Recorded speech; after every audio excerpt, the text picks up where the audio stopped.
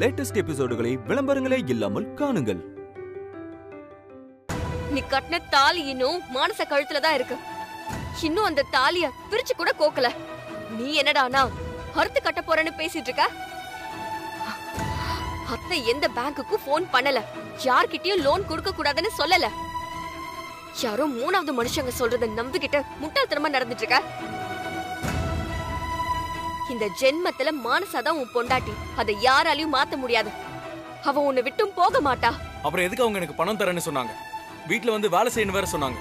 தம் மருமகன் பணத்துக்காக நாலு பேர்கிட்ட கையேந்தி நிக்க கூடாதுங்கிற ஆதங்கத்திலயும் நீ நல்லா இருக்கணும். அவங்க பொண்ணு கூட சேர்ந்து வாழணுங்கிற அக்கறையில அவங்க சொன்னது.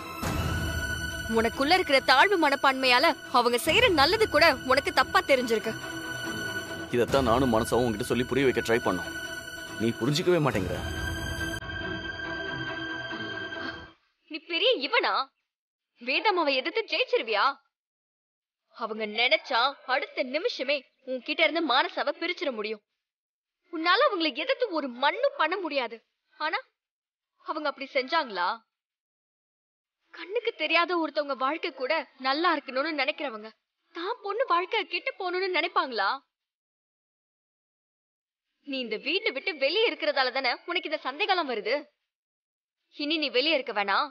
இந்த வீட்லயே இரு. வித்யா ஏற்கனவே அம்மா இவன் மேல செம்ம கோவத்துல இருக்காங்க. இப்ப நீ வேற இவனை வீட்டுல தங்க வைக்க சொன்னா அவங்க எப்படி சம்மதிப்பாங்க? நான் அத்தை கிட்ட பேசுறேன். இந்த பிரச்சனைக்கு ஒரு முடிவு கட்டணும்னா அதுக்கு இந்த ஒண்ணுதான் வழி.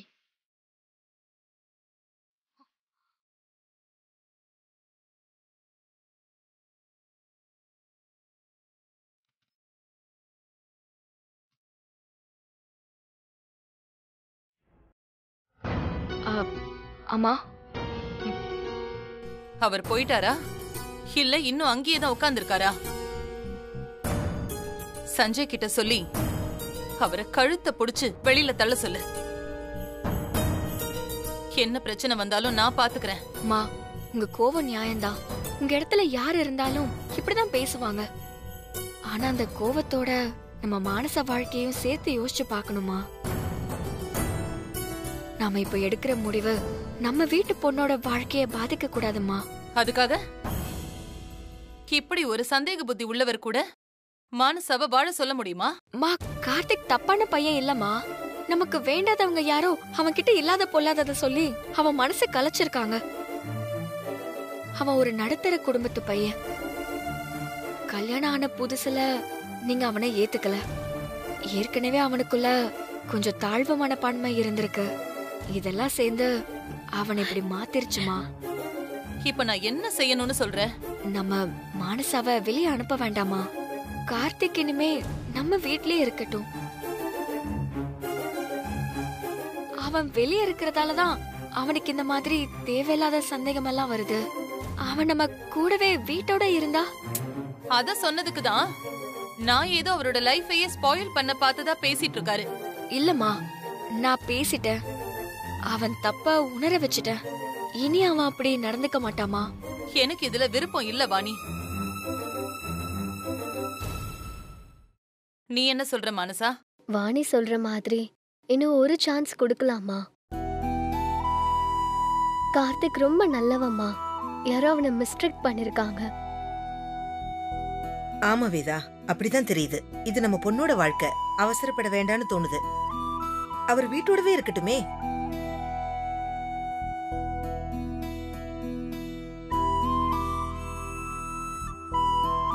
சரிக்கா. நீங்க சொல்றதுக்காகவும் மானசாவோட வாழ்க்கைக்காகவும் நான் இதுக்கு சம்மதிக்கிறேன்.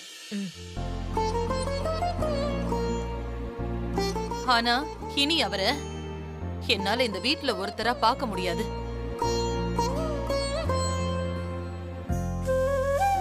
என் மாப்பிள்ளையாவும் பார்க்க முடியாது.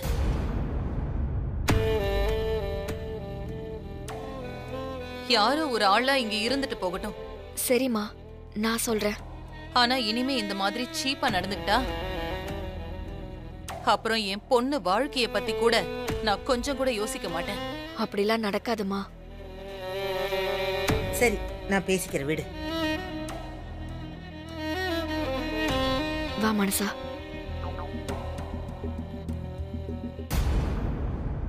மானசா இப்ப கூட. பிடிச்சிட்டு இருந்தா உள்ள சொன்னதே. என்ன கொஞ்சம் சும்மா இரு. கார்த்தி அத்தை உன்னை இந்த வீட்லயே இருக்கிறதுக்கு ஒத்துக்கிட்டாங்க. உள்ள வா.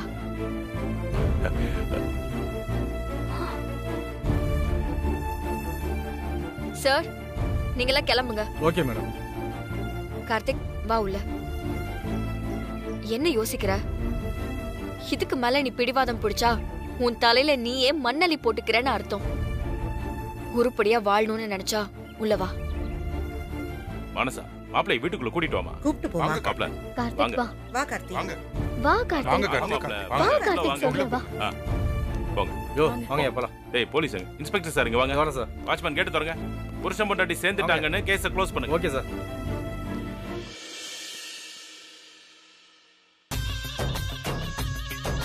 நாம ஒண்ணு நினைச்சா வேற ஒண்ணு நடக்குது. நாம போட்ட பிளான மொத்தமா சொதப்பிட்டாளே இந்த வித்யா. இவனை வச்சு பெரிய கலவரத்தை உண்டு பண்ணான்னு பார்த்தா கடைசியில எப்ப பாரு நம்மளே பல்பு வாங்கிட்டு இருக்கோம்.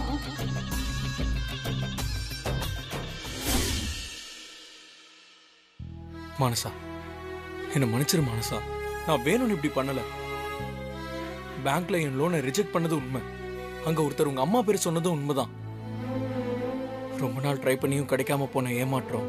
ஏற்கனவே உங்க அம்மாவுக்கு நம்ம மேல இருந்த கோபம் இதெல்லாம் சேர்த்துதான். அவர் சொன்னதெல்லாம் உண்மை நம்பிட்டேன். தப்பு என் மேலதான் மனசா? நான் உன்னை விட்டுட்டு வேற ஒருத்தனை கல்யாணம் பண்ணிக்கிறேன்னு. நீ சந்தேகப்பட்டல்ல? சாரி மனசா. உனக்கு கோவம் இருந்தா என்ன அடிச்சிரு. ஆனா ப்ளீஸ் என்ன வெறுத்துறாத. நான் தெரியாம தப்பு பண்ணிட்டேன். தெரியாம தப்பு பண்ணிட்டியா? இனி இப்படி பண்ண மாட்டேன். மானசா. சாரி சாரி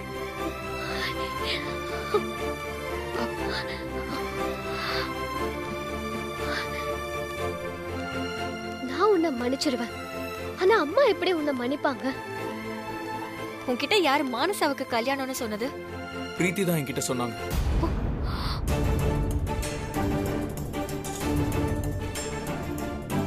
நினைச்சேன். இந்த மாதிரி வேலையெல்லாம் அவ தான் செய்வா.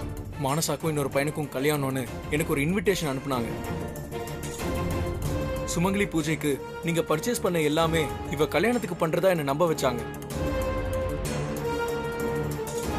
அப்ப நான் மானசா கிட்ட பேச ட்ரை பண்ணேன். இவ்வளவு என் மேல கோவமா இருந்ததுனால இவ சரியா பேசல.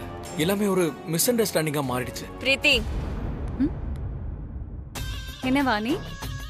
ஒரு வழியா உன் திறமைய காட்டி கார்த்திய வீட்டுக்குள்ள வர வச்சிட்ட போல? உனக்கு ஏன் இந்த வேலை? என்ன வேலை? நான் என்ன பண்ணேன் நீங்க தானே மானசாக்கு கல்யாணம்னு என்கிட்ட சொன்னீங்க. நான் சொன்னேங்கிறதுக்கு உன்கிட்ட என்ன எவிடன்ஸ் இருக்கு? நீங்க எனக்கு இன்விடேஷன் அனுப்புனீங்கல்ல அது என் வாட்ஸ்அப்ல தான் இருக்கு காட்டுறேன் பாருங்க. அப்படியா? எங்க? காட்டு பார்க்கலாம். என்னாச்சு? என் போன்ல தான் இருந்துச்சு இப்ப காணும். நான் அனுப்புனா தானே இருக்கும்? இல்ல நீங்க தான் என்ன ஏமாத்தி. எவிடன்ஸ் இல்லல்ல. நீங்க நினைக்கிற மாதிரி உங்க மாப்பிள்ள ஒன்னும் நல்லவன் கிடையாது. யாரோ சொல்றதெல்லாம் நம்பிட்டு இப்படி இந்த குடும்பத்தையே சந்தேகப்படுறவன் நாளைக்கு மானசாவியே சந்தேகப்பட மாட்டான் என்ன நிச்சயம் என்ன தம்பி? ரொம்பதான் எகிரிட்டு வர?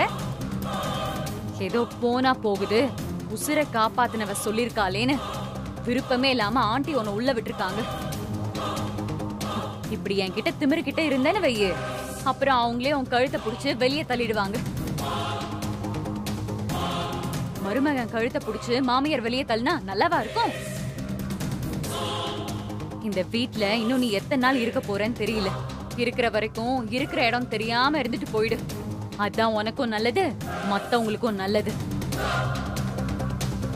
சும்மா ஏதாவது சத்தம் போட்டா நான் யாருன்னு உனக்கு காட்டுவேன். உன் மேல அத்தைக்கு இருக்கிற நம்பிக்கை எப்பவும் இப்படியே இருக்காது பிரீத்தி. கண்டிப்பா அது ஒரு நாள் குறையும். அன்னைக்கு இருக்கு உனக்கு கச்சேரி. பார்க்கலாம். ம் பார்க்கலாம். இல்லங்க இவளாலதான் இந்த பிரச்சனை எல்லாம் அவளை பத்தி தெரிஞ்சிருந்தும் நீ அவ சொன்னதை நம்பி இருக்க பாரு. உன்னை சொல்லணும். நீ முதல்ல எங்க அம்மா கிட்ட சாரி கேளு. நீ வா. வா. ம் வா.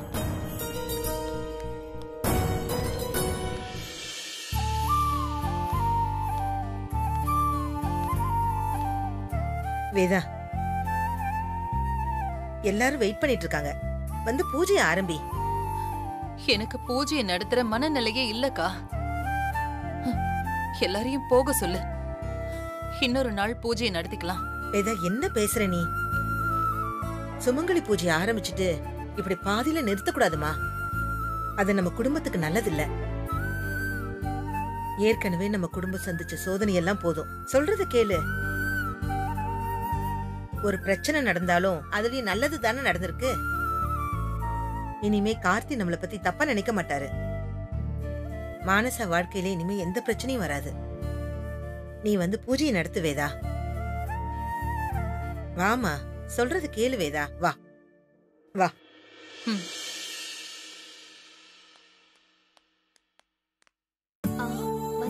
வாங்க. என்னை மன்னிச்சிருங்க மேடம். நான் உங்களை சரியா புரிஞ்சுக்காம என்னென்னமோ பேசிட்டேன்.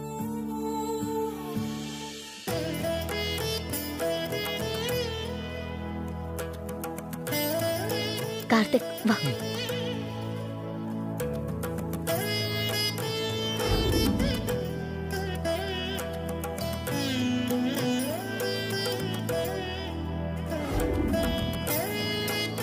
இதை எடுத்து அம்மா கிட்ட கொடு. பார்த்து மெதுவா நான் பிடிக்கவா? சரிங்க பெரியம்மா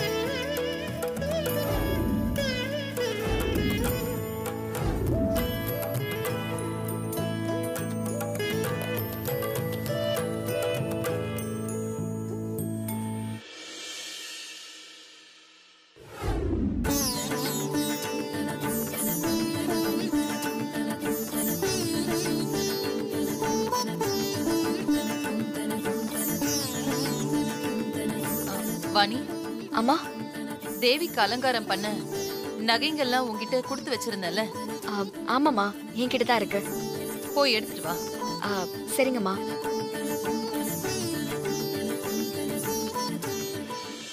போடி போ.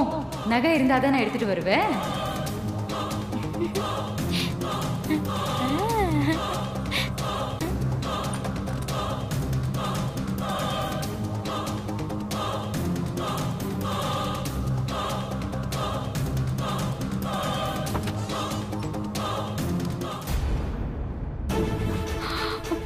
எங்க? என்ன நகைய காணோம்? இங்க தானே வச்சிருந்த எங்க போயிருக்கோம்?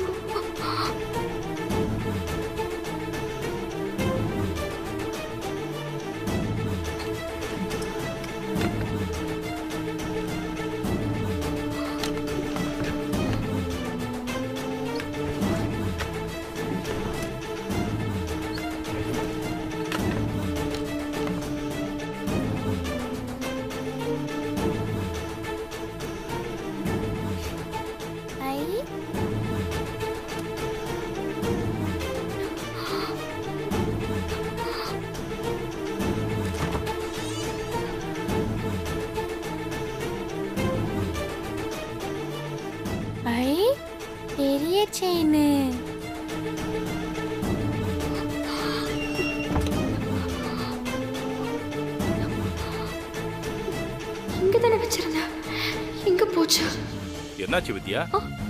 மாமா அத்தை கொடுத்த நகைய இங்க தான் வச்சிருந்த மாமா. இப்ப பாக்குற காணோம். என்னம்மா சொல்ற? நல்லா தேடி பாத்தியா? நல்லா பாத்துட்டேன் மாமா. எங்கேயுமே இல்ல. எங்க வச்சாத? இது உன் ரூம் நீ பத்திரமா வச்சிருந்த நகை எப்படிமா காணாம போகும் தெரியல மாமா. எங்க வச்ச? அந்த கபோர்ட்ல தான் வச்சேன் மாமா.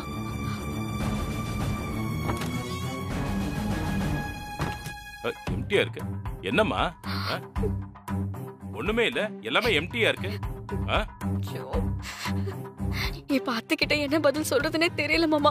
நீ நகையை மாத்தி எங்கேயும் எடுத்து வைக்கலையே? இல்ல மாமா. நான் அங்கதான் வச்சேன். நகை வச்ச இடத்துல இல்லனா அப்ப யாரோ வந்து நகையை எடுத்திருக்காங்க. நகையை காணோம் அப்படின்னு வேதா கிட்ட சொல்லலாம் வா. வா. மாமா அத்தை திட்டுவாங்களே மாமா. நீ வாமா நான் பேசிக்கிறேன் வா. வா.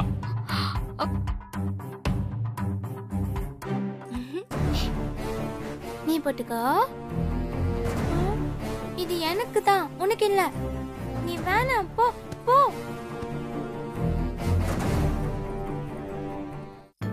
அம்மா இன்னும் பதினஞ்சு நிமிஷத்துக்குள்ள பூஜை ஆரம்பிக்கணும். அப்பதான் பத்து மணிக்குள்ள முடிக்க முடியும். அதை தாண்டி போனா நல்ல நேரம் முடிஞ்சிருது. இப்ப ஆரம்பிச்சிடலாம். சரிங்கம்மா. வாணி சீக்கிரமா சாமிக்கு அலங்காரம் பண்ணு. ஆமா. நகை எங்க? நகைய காணுமா? என்னது? நகைய காணுமா? என்ன சொல்ற வாணி? நான் ஏன் ரூம்ல தான் வச்சிருந்தேன். இப்ப போய் பாக்குற காணுமா?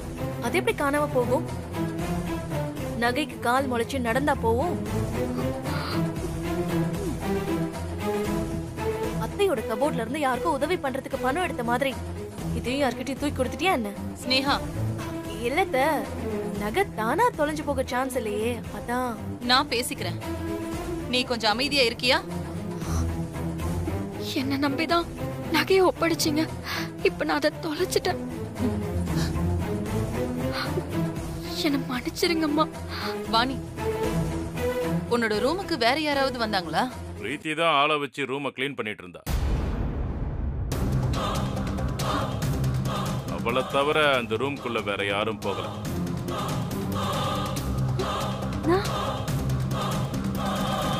பிரீத்தி நீ நகையை எடுத்தியா? நான் எதுக்கு நகையை எடுக்க போறேன்? ஆண்டி அங்கிள் என்ன பேசுறாருன்னு பாருங்க. அவ அப்படிப்பட்ட பொண்ணு இல்ல. நம்ம வீட்ல இன்னைக்கு க்ளீன் பண்ண ஆளுங்க மேல உனக்கு ஏதாவது டவுட் இருக்கா பிரீத்தி? இல்ல ஆண்டி. என் கண்ணு முன்னாடி தான் அவங்க எல்லாம் வேலை செஞ்சாங்க. கபோர்டை திறக்கவே இல்ல. மாப் போட்டு ஒட்டடை அடிச்சாங்க அவ்வளவுதான். பாத்ரூம்ல மானசா குளிச்சிட்டு இருந்தா. அதனால பாத்ரூமை கூட க்ளீன் பண்ண முடியல. மனசா? மா. நீ எதுக்கு வாணி ரூமுக்கு குளிக்க போன? நான் எப்போ? அவ- அவ பாத்ரூம்ல பைப்பு பிரச்சனைமா தண்ணி வரல அதான் அவ அங்க வந்தா. ஆ ஆமாம்மா. கொஞ்சம் கவனமா இருந்திருக்கலாமேம்மா. அவ இந்த மாதிரி எல்லாம் நடக்கும்னு நினைச்சிருக்க மாட்டா. நம்ம வீட்ல யாரு வந்து திருடி இருப்பாங்க?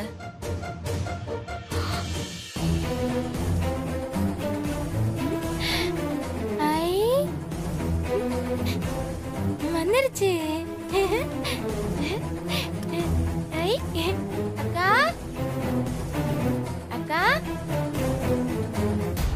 முதல்ல பூஜை நல்லபடியா முடியட்டும். அதுக்கப்புறம் நகை எப்படி தொலைஞ்சு போச்சுன்னு கண்டுபிடிச்சுக்கலாம். மனசா? மா? என் ரூம்ல இருக்கிற என்னோட நகைங்களை எல்லாம் எடுத்துட்டு வா. இல்லம்மா நம்ம யூஸ் பண்ண நகைங்களை சாமிக்கு அலங்காரம் பண்ணக்கூடாது. அது தெய்வ குத்தமாயிடும் புது நகைங்களால தான் சாமிக்கு அலங்காரம் பண்ணணும். ஆ, ஸ்னேகா. அத்தை? நம்ம வீட்ல இன்னும் யூஸ் பண்ணாம வச்சிருக்கிற நகைங்க ஏதாவது இருக்கா? இல்லத்த அதனால தானே நம்ம புதுசு வாங்கணும் அம்மா நான் வேணா உடனே போய் கடையில வாங்கிட்டு வரட்டுமா? டைம் ஆச்சுடா. அந்த அளவுக்கு டைம் இல்ல. இனிமே வாங்கிட்டு வந்து பூஜையை தொடர்ந்து நடத்த முடியாது. நல்லா இருக்கு. அம்மனுக்கு நகைங்களுக்கு பதிலா மலர்ல அலங்காரம் பண்ணி பூஜையை ஆரம்பிக்கலாம்.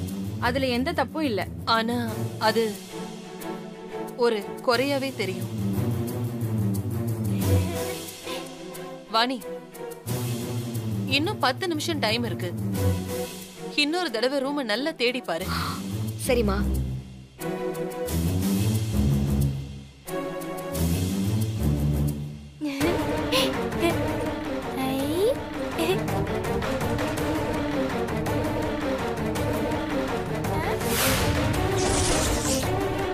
அக்கா இது சூப்பரா இருக்குல்லக்கா. அக்கா